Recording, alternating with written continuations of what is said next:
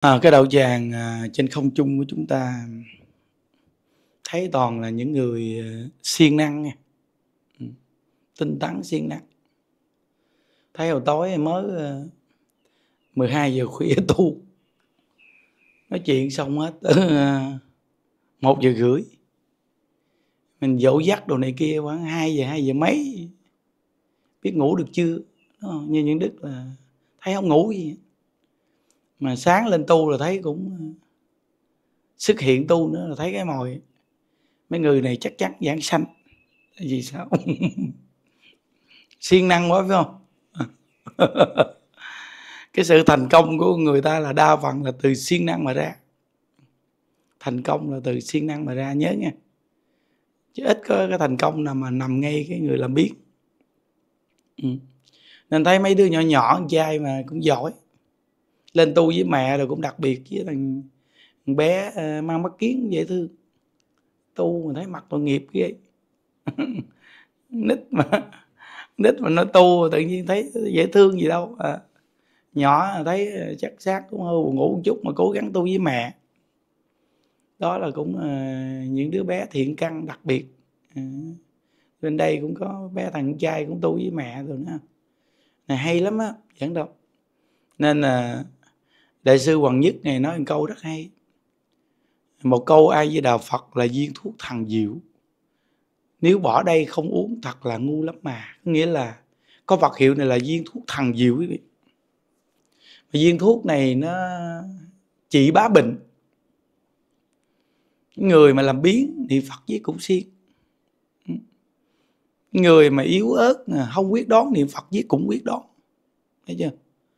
Còn người bệnh về thăng, bệnh đau này nọ đâu. Niệm phật viết cũng có thể chuyển hóa. Có người tâm lượng hẹp hòi, niệm phật với tâm lượng rộng lớn. Có người thiếu cái tâm cái tâm mà chung nghĩa, niệm với có tâm chung nghĩa. Mà phải chân thật nghe. Nghĩa là quý vị nhớ là câu vật hiệu này mình niệm á. Có nhiều người mình mình không hiểu. Giống như mình đem câu vật hiệu mình để phía sau mình đem những cái vọng tưởng mình để phía trước. Mình lấy câu vật hiệu mình đẩy vọng tưởng. Nên mình niệm phật nó không kết quả.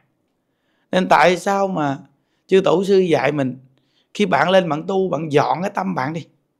Những cái thứ gì lo âu, nặng nề, bận tâm, hay là sắp sửa đi thi, đi học được, để phía sau hết đi. Bạn lên bạn tu, bạn chăng thật một thời đó bạn tu đi. Là nó sẽ có kết quả. Nên tại sao mình tu tập xong mình nói chuyện một chút gì nó nó thông cái tâm chỗ đó đi. Rồi bắt đầu là mình dụng công nó kết quả. À, nó nhắm ngay cái đoạn đó nó giống nó phải, phải giải giải tỏ được chỗ đó. Rồi nó dụng công cái có kết quả. Nghĩa là câu vật hiệu này là mình chân thật mình phát trước nhất thì nó sẽ bao trùm tất cả những cái rắc rối lại nó giải tỏa và nó nó giải mã hết luôn còn nhưng mà mình thì thường là mình mình không hiểu, mình lên mình tu, mình đem một khối vọng tưởng lên. Bao nhiêu thứ, bận tâm lên mình để trên đây nè. Xong cái câu bằng hiệu mình để phía sau. Cái mình cứ dùng câu bằng hiệu mình đẩy cái vọng tưởng đi trước. Cuối cùng mình mình đẩy hoài chăng nữa, thì vọng tưởng nó vẫn là đi trước.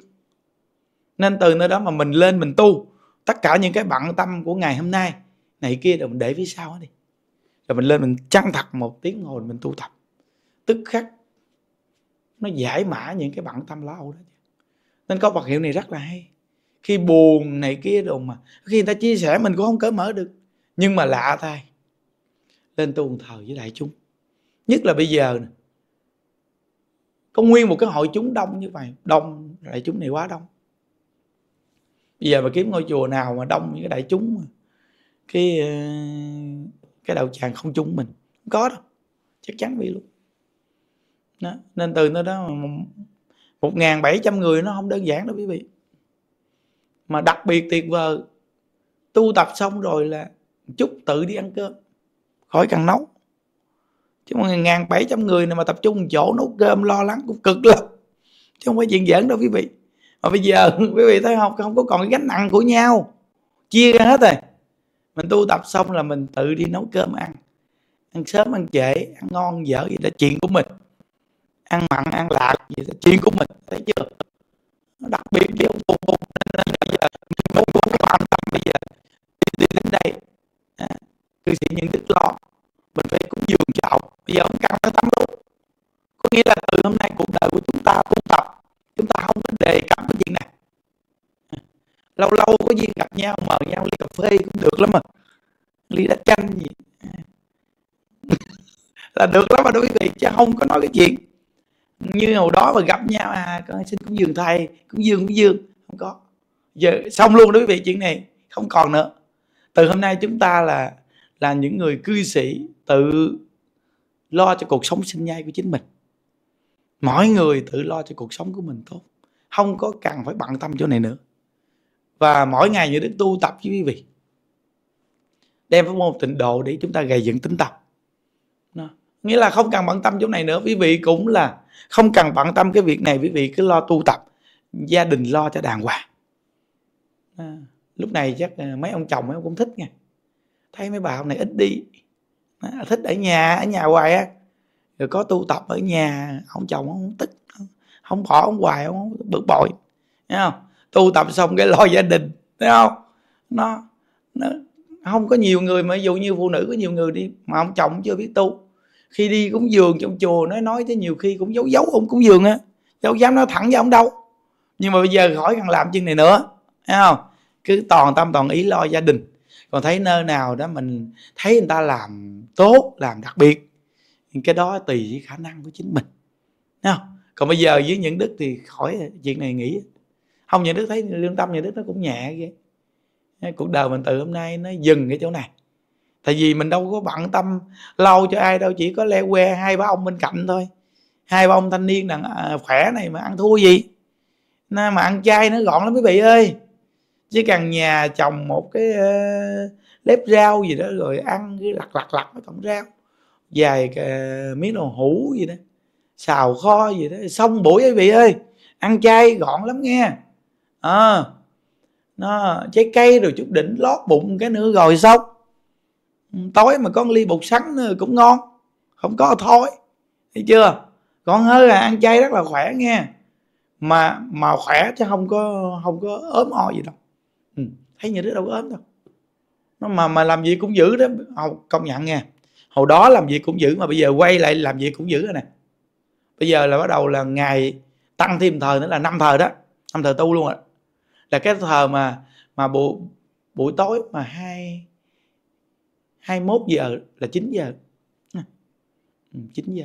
Là giờ đó bắt đầu như đức tu thời lễ phật. Thấy ờ, hồi tối như đức ngồi như đức thấy bị lễ phật. Cái lúc mà 21 giờ 9 giờ đó nói ủa cái giờ này mình lễ phật thời mình đi ngủ xong ngon này ta. Thì cái thời này mình mình ngồi mình coi người ta lễ chi ổn quá.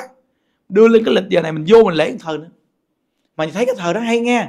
Tại mình tu 7 giờ rưỡi mình làm gì làm mình lo gì lo giải quyết gì xong xong tới 21 giờ là 9 giờ mình tu thờ. những đức nói thành công ngay chỗ siêng năng.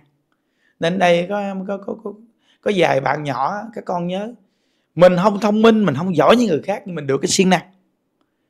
Mà mình mà có phước nghe các con là các con chỉ nhắm được mục tiêu liền ngộ lắm. Mình không thông minh mà sao cái đưa đẩy mình là cái tốt cho mình? Rồi mình nhắm mục tiêu mình làm hoài mình thành công hơn người ta. Còn người ta thông minh nhưng mà người ta ác tâm. Nên cái điều mà người ta nhắm một nhiều mục tiêu lắm nhưng mà cuối cùng nó không thành công. Nên mấy đứa nhỏ nhỏ mà có phước á, là hiếu với cha mẹ rồi ngoan ngoãn rồi biết niệm phật. Nó đi học rồi đi mà về nhà biết phụ với mẹ này kia rồi lo gia đình. Mấy đứa nhỏ đó tự nhiên cái cái phước nó dẫn dắt mình đi gặp cái chỗ tốt. Là tự mình nhắm mục tiêu luôn nhất là pháp môn tịnh độ này. Những đứa nhắm được mục tiêu à. Cứ cái đà này những đứa cái, cái, cái siêng năng những niệm phật hoài vậy đó. À, buông cái thành công này gây dựng thành công khác. Rõ ràng luôn. Chỉ cần nắm một câu vật hiệu nghe là buông cái thành công này là thành công cái khác. Mà cả cuộc đời mình nó nó thật sự vì mình không có ác tâm mấy vị ơi. Mình niệm phật là mình không có ác. Tại vì cái tâm mình nhớ phật niệm phật sao mình ác? Thật sự luôn á. À, mà ngộ nghe mà niệm phật vui nghe. Có khi mà mà nhất là ta tu đêm hôm. Xong mà sáng lên tu. Nhìn mặt nhau mắc cười lắm mấy vị nhìn. Nhìn nó nói nó cũng buồn ngủ có nhiều bà mà bà ngồi bà niệm phật mặt bà héo queo. Ôi cô ghét cô ghét cái chuyện giỡn chơi đâu. Nó nói từ nơi đó mà tự nhiên cái người tu mình mình niệm phật được là mình thấy mình vui nghe, rõ ràng. Đó. cái tâm mà đã vui rồi cái cảnh trước mặt mình vui hết. Ừ. nó ngồi mà nhiều người rồi mỗi người ngồi cố gắng niệm phật. Nó bởi vì phật thương mấy người niệm phật chân thật. Sáng nay chủ nhật bắt đầu nữa không? Từng gia đình này biết nè? Từ hôm nay là gia đình mà đông đông đông tập trung á. Giờ tu đó, mình đưa cái cái gia đình đông đông lên một nhúm thấy một đạo tràng quanh giác không? Đó, nên tự nhiên quý vị vô tu quý vị cũng thấy, ồ, công nhận nha. Nhóm nhóm nhóm nhóm tụ đồng ghê. Tự nhiên trong lòng mỗi người mình cũng thấy hưng khởi, tâm thấy vui. Cái đạo tràng không chung gì là quá thù thắng rồi. Nó tu tập xong cái mỗi gia đình à, nấu ăn đồ lo cho người ta. Hay lắm nghe. Vì làm thời gian bị sẽ thấy à, tự nhiên gia đình vì thấy vui lắm. Mà quý vị nhớ nghe, cái lo cho người niệm phật thù thắng lắm. Đến với cái người niệm phật lo cho người ta, đừng có dũng ý. Đừng có dũng ý gì chứ có chân thật mà làm đi. Cái làm bằng cả tấm lòng đi, quý vị sẽ thấy. Nó lạ lắm, nó mắc đầu này nó có đầu kia nó không có thiệt thòi đâu quý vị ơi. Niệm phật một câu, phước sanh vô lượng lễ, phật một lễ. Tội diệt hà sa, làm sao mà mình lo cho cái người niệm phật mà mình thì thiệt thòi được? Mình đừng có lo. Nhà mình rộng rộng rộng rộng, mình bắt vài cái máy lạnh cho mát. Chấp nhận đầu tư luôn, mình cho mấy người ta lợi niệm phật. Mỗi tuần đồ lợi nhà mình niệm phật. Lại quan âm đồ cho người ta lại quan âm. Mình dám đầu tư, mình nấu cháo đồ, mình mua đồ ăn đồ, mình quậy nước ngon, lành cho uống luôn. Tại vì tương lai họ làm phật mình gieo duyên với những vị phật tương lai, tại vì đời này mà họ chịu niệm phật vậy có nghĩa là họ sắp đến rồi. Sắp đến chỗ rồi. Đến chỗ nào thế giới cực lạc rồi, sắp tới rồi. Tại vì cái thờ mạt pháp mà niệm phật là là ti sanh trong thờ mạt pháp mà niệm phật là không phải sanh trong thờ mạt pháp, mà sanh trong chánh pháp. Thờ chánh pháp là có người thành tựu, mạt pháp là do gì tu cái pháp khác nên không thành tựu. Nên nó là mạt pháp. Còn nếu như tịnh độ mà phật quyền ký là thành tựu mà mình tu tịnh độ là tuy sanh trong thời mạt pháp nhưng mà mình đang sống trong chánh pháp. Thế pháp môn tịnh độ này rất thù thắng. À, nên cái nơi nào mà niệm phật mà nếu mà chân thật lo cho người ta nha vì người ta niệm phật lo nhiệt tình thì người ta đừng có tiếc rẻ gì chứ nghe. Cái nơi đó thịnh cho vị thấy. Còn kiểu lo cho người ta mà lo trước lo sau rít rắm. Lại vì tính toán rồi. Tu hành là tính toán rồi. Thấy không? Nó người ta mà đi đến nhà mình mình cứ nhiệt tình đi đừng có đít rắm. Nghèo nhưng mà mình mình có như mình sạch sạch nhất luôn. Nhưng mà vì sẽ thấy? Thời gian rồi quý vị thấy. Gạo trong cái lu đầy lu gạo luôn. Nó lạ lắm. Tại mình nhiệt tình mình lo cho người ta rồi người ta lỡ nhà mình ta đâu có quên ơn mình đâu. Ừ, hay lắm quý vị ơi. Thật sự vì quý vị cái nhân cái quả mình đến với người ta là sao? Người ta sẽ đến với mình gì? Những đức thấy rõ ràng luôn. Những đức đến với người ta nhiệt tình tự nhiên khi những đức gặp gặp sự cố rõ ràng có người giúp như đức quý vị ơi. À, người ta giúp như đức rõ ràng luôn. Mà người ta giúp mình mà người ta thương mình người ta lo cho mình nữa chứ. Hay chưa? Thấy rõ ràng luôn. Nên yên tâm đi quý vị. Trong cuộc đời không có thiệt thòi đâu mình cứ làm cái điều thiện điều tốt đi. Trong sống ở đây có một cái bà cô cái cô chủ nhà của kể hồi đó cách nay mười mấy năm bản thân của cổ đi lợi bệnh viện khám bệnh. Lúc đó nhà còn nghèo, ông chồng đưa chịu mấy đi khám bệnh. Chịu mấy xưa cũng lớn. Đi lợi khám bệnh, thấy người ta, một ông đàn ông đi ngang khóc thiệt là khóc. Ừ, bà hỏi ồ chú, anh anh làm gì khóc dữ anh vợ tôi mổ mà phải hơn 3 triệu. Mà bây giờ không mổ là chết, mà bây giờ không có tiền, bây giờ phải đưa gì bà nói, anh phan nó đưa gì xong cái người ta trong bệnh viện đông đông, bà tập trung ta lại, bà nêu lên. Cái người này bây giờ mà không mổ là chết. Bây giờ tôi có một triệu mấy đi khám bệnh, tôi bỏ ra triệu mấy. Giờ mỗi người người chút chút chút chút chút gom lại. Đủ tiền mổ bà nói. Đưa chị vô liền đi anh. Mổ chị. Bà không khám bệnh luôn. Xong bà chở về nhà. Bà nói cái bệnh bà về nhà không có khám gì nghe vì về nhà tự nhiên bệnh hết luôn. Cái tâm đó nó kinh lắm chứ không đơn giản đâu quý vị ơi. Chàng đi khám bệnh mà không khám bệnh mà thấy người ta nặng hơn mình lo cho người ta trước luôn. Cái tâm nó không đơn giản chút nào. Nó, mà những đức đi đến ngay cái nhà mà cái cô đó cái tâm cổ ngày xưa chưa gặp học pháp mà cổ đã có tâm vậy. Vì nghĩ bây giờ cái tâm cổ lớn cỡ nào chứ? Nó rõ ràng cái tâm mình lớn mình lỡ gặp cái gia đình cái người ta có tâm lượng lớn. Còn cái tâm mình so đo ích kỷ từng ly từng tí mình sẽ gặp người so đo ích kỷ từng ly từng tí. Chính những đức thấy rõ ràng dài ba chú đi theo những đức ông đơn thường mà ông đơn giản không hiểu gì nhiều. Đó. Dù lúc trước những đứa sống bên cạnh mấy anh em nhưng mấy anh em ông rất đơn giản. À, lúc mình sống với ông ông rất đơn giản không có gì. Nhưng mà quý vị nếu là người từng ly từng tí tính toán so đo quý vị sẽ gặp cái quả báo là người bên cạnh quý vị y ren từng ly từng tí tính toán so đo luôn. Cái nhân cái quả nó không sai một chút đâu quý vị. Hãy tin nhân quả đi. Sống bằng cả lương tâm mình đi không có thiệt thòi đâu. Ừ. một trăm phần trăm bị không có thiệt thòi. Ôi đức phật nói muốn biết nhân đời trước xem quả báo đời này. Muốn biết quả báo đời sau xem nhân đời này. Không có thiệt thòi đâu đừng có lo. Đời này quyết định gì cực lạc có thiệt thòi. Nhớ nghe quý vị. Nên sáng tu xong một chút nói chuyện gì những đức cũng siêng. Thật sự quý vị văn ôn võ luyện siêng hoài giết thành lão liền. Ai biết 10 năm sau chuyện gì sẽ xảy ra? À, ngày xưa, nói chuyện lắp dắp một mình ngồi nói chuyện nghiêu ngao 10 năm chờ ngồi trên pháp tòa, đùng một cái nhảy xuống đất. Bây giờ tiếp tục siêng năng nữa. Không không để cho bị mai một, siêng năng nữa. 10 năm sau ai biết được quý vị? 5 năm 10 năm sau không biết được nghe. Cuộc đời con người đừng thấy người ta dấp ngã thất bại một cái gì là mình đánh giá người ta sẽ thất bại người thất bại chỉ có đúng một cái người té nằm im thôi.